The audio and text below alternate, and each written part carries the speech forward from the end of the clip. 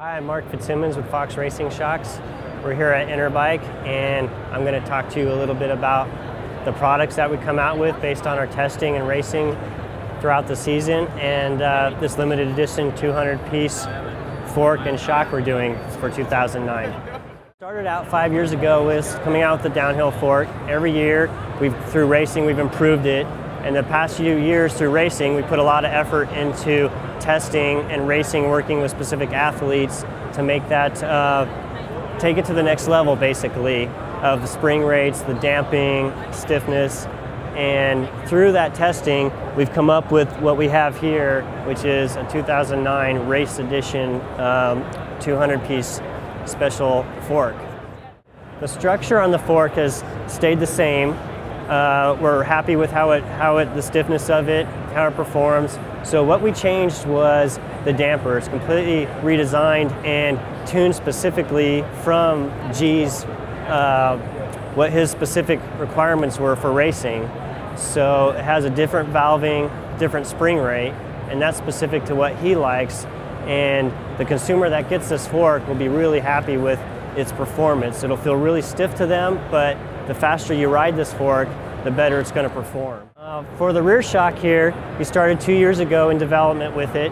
Uh, basically, through our own testing, we came up with the platform and the features we wanted, and then going into the race season, we designed one for the racer to test throughout the season with the adjusters, and with that, we tested through every race, um, getting feedback from the riders, and made minor changes to it to what this shock is here, which is a little bit different than what's on the bike.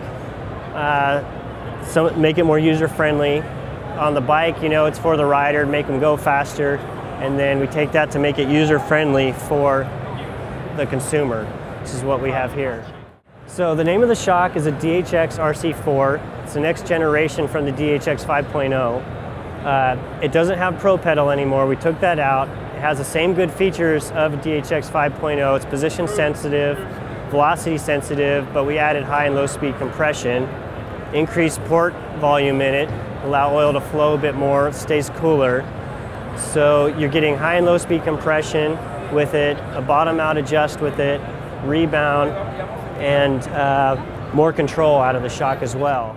So on this shock, we're able to make changes with high or low speed compression to tune it specifically for a course, uh, whether it's a pedally course or super steep course, rooty course. And with these adjustments, we're able to change the settings for that specific course. The old shock, we could control low speed compression with Pro Pedal, which was a great feature to have, but through racing and on these downhill bikes, we're allowed to, with high low speed compression, take that to another level. We can still make it pedal well, but at the same time we can make it handle big G outs or large jumps, anything of that type.